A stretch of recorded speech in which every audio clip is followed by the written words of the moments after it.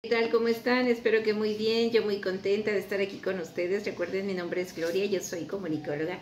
Me apasiona la lectura, pero más leerles a ustedes. Recuerden que estamos leyendo un libro genial que se llama El mundo de Sofía, donde es una novela que nos habla sobre la historia de la filosofía a través de una novela, valga la redundancia. Estamos viendo... Ay, ya no me acuerdo qué es lo que vimos, pero eso fue ayer o Ah, ah, ah, de Copérnico, de Galileo. Ajá. Dice... Mm, mm. Ah, ok, dice, nos quedamos en que los planetas son canicas sobre un plano inclinado. Sí, algo así. Pero espera un poco, Sofía. No tengo elección. Ya Kepler había señalado que debía existir una fuerza que decía que los astros se atrajeran los unos a los otros. Tenía que existir, por ejemplo, la fuerza del Sol que mantuviera los planetas fijos en sus órbitas. Una fuerza de ese tipo podría explicar además por qué los planetas se mueven más lentamente en su órbita alrededor del Sol cuanto más lejos se encuentran del mismo. Kepler también pensaba que la, que la marea alta y la marea baja, es decir, el que la superficie del mar suba y baje tenía que deberse a alguna fuerza de la luna. Y es verdad, sí, es verdad, pero Galileo lo rechazaba. Se burlaba de Kepler, que había dado su consentimiento a la idea de que la luna domina el agua. Eso era porque Galileo negaba la idea de que semejantes fuerzas de gravitación pudieran actuar a grandes distancias y por tanto entre los distintos astros.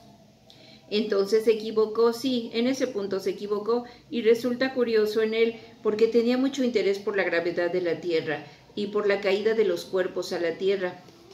Además había señalado cómo varias fuerzas pueden dirigir los movimientos de un cuerpo. Pero dijiste algo de Newton. Sí. Luego llegó Newton, formuló lo que llamamos ley de la gravitación universal.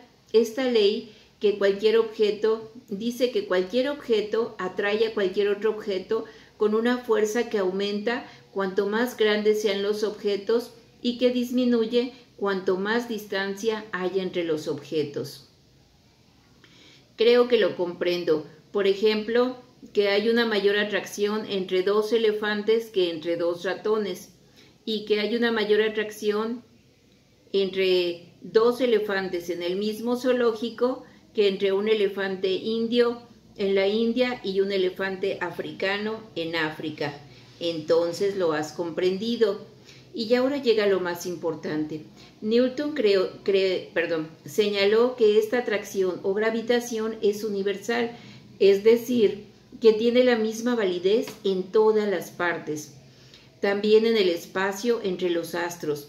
Se dice que esta idea se le ocurrió una vez que estaban sentado bajo una manzana, perdón, bajo un manzano.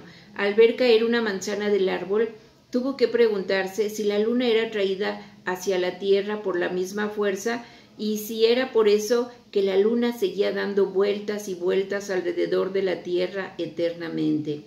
Muy listo, pero no tanto. ¿Por qué no, Sofía? Si la luna fuera traída hacia la Tierra por la misma fuerza que hace caer la, la manzana, entonces la luna acabaría por caer a la Tierra en lugar de dar vueltas. Nos estamos acercando a las leyes de Newton referente a los movimientos de los planetas. En cuanto a cómo la gravedad de la Tierra atrae a la Luna, tienes razón en un 50%, pero te equivocas en otro 50%. Por cierto, ¿por qué no cae la Luna a la Tierra, Sofía?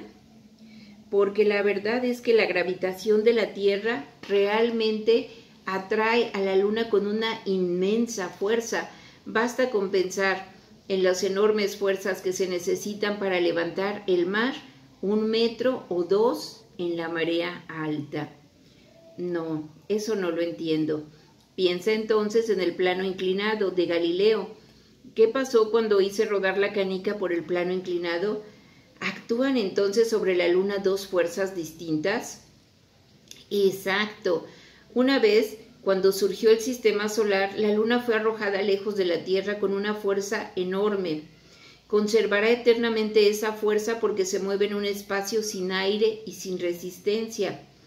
Pero entonces es atraída hacia la Tierra debido a la fuerza de la gravedad de ésta. Exactamente.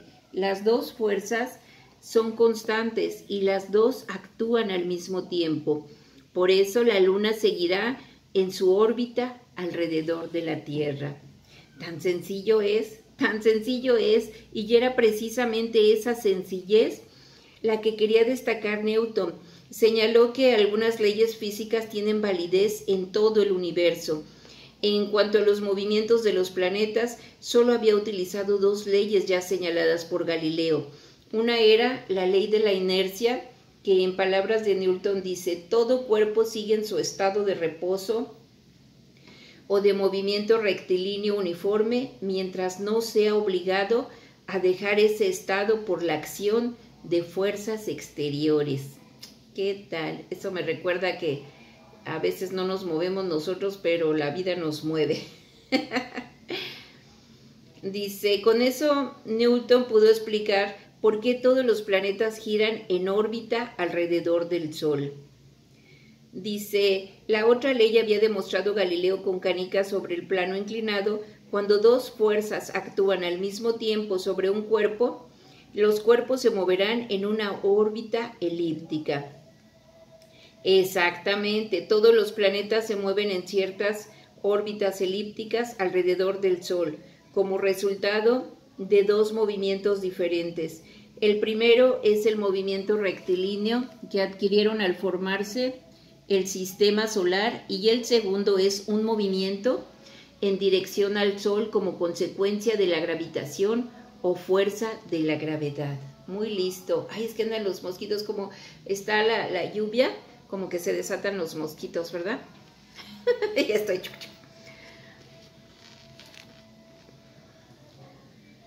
Muy listo, ya lo creo. Newton demostró que las mismas leyes que rigen para todos los movimientos de los cuerpos rigen en todo el universo y con ello hizo desaparecer las viejas ideas medievales de que en el cielo rigen distintas leyes que aquí en la tierra. La visión heliocéntrica del mundo había recibido su definitiva confirmación y su definitiva explicación. Alberto se levantó y colocó el plano inclinado en el cajón del que lo había sacado. Se inclinó y recogió la canica del suelo, pero simplemente la dejó en la mesa. A Sofía le parecía que había sacado muchísimo provecho de la canica verde. Perdón, muchísimo provecho de un tablero inclinado y una canica. Se quedó mirando la canica verde y aún estaba un poco negra debido al rotulador y no pudo evitar pensar en el planeta. Dijo, ¿y los seres humanos tuvieron que aceptar que vivían en un planeta cualquiera en el gran espacio? Sí, de alguna manera la nueva visión del mundo fue una dura prueba para muchos. La situación puede compararse con lo que pasó cuando Darwin más adelante demostró que los hombres habían evolucionado de los animales en ambos casos, los seres humanos pierden algo de su situación especial en la creación. En ambos casos, la Iglesia opuso una gran resistencia. Eso es comprensible, porque ¿de dónde queda Dios en todo esto? Debía de ser un poco más sencillo todo cuando la tierra era el centro y Dios y todos los cuerpos celestes se encontraban en el piso de arriba. y sin embargo, no fue ese el mayor reto. Cuando Newton señaló que las mismas leyes físicas rigen en todo el universo, podría pensarse que al mismo tiempo estaban planteando dudas sobre la omnipotencia de Dios, pero la fe de Newton no se alteró. Consideró la naturaleza como un testimonio del Dios grande y todopoderoso. Peor fue quizá la imagen que la gente tenía de sí misma. ¿Qué quieres decir con eso? Desde el Renacimiento el hombre ha tenido que habituarse a la idea de que vive su vida en un planeta casual, en el inmenso espacio. No sé si nos hemos habituado todavía, pero ya en el Renacimiento alguien señaló que ahora cada individuo tendría un lugar más central que antes. Eso no lo entiendo, dijo Sofía. Antes la Tierra había sido el centro del mundo, Pero cuando los astrónomos declararon que no había ningún centro absoluto en el universo, entonces surgieron tantos centros como individuos. Entiendo. O sea que cada uno de nosotros somos el centro de la Tierra, del universo.